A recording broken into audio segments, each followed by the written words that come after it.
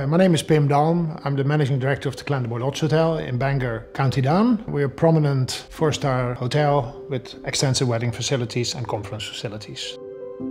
It's been tough, but COVID or the social distancing issues, I suppose, will remain here for some time. And uh, as a result, we have had to adjust and review our operating procedures, very stringent risk assessment.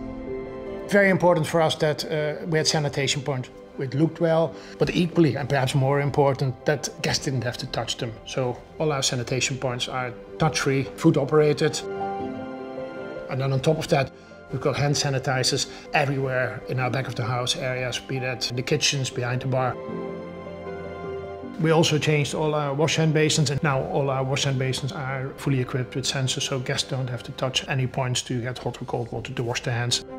We've created an extra outdoor terrace to increase our capacity and at the same time provide a comfortable dining environment.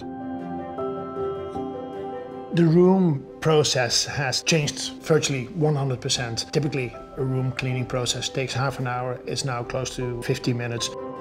When staff came back after the first lockdown, we had obviously very detailed training programs. We explained to them about the We're Good to Go protocols, the benefit of the We're Good to Go accreditation, which we received which we felt was very important to make sure that our staff felt confident that as business owners we'd taken all reasonable steps to ensure that the environment which they had, either interacting with guests or interacting amongst each other, was as safe as could possibly be. I can highly recommend signing up to the We're Good to Go Safety Charter. It's a great marketing tool which will help with attracting customers to the Clandeboye Lodge. It's also a benchmark against best practice health and safety measures which we've implemented.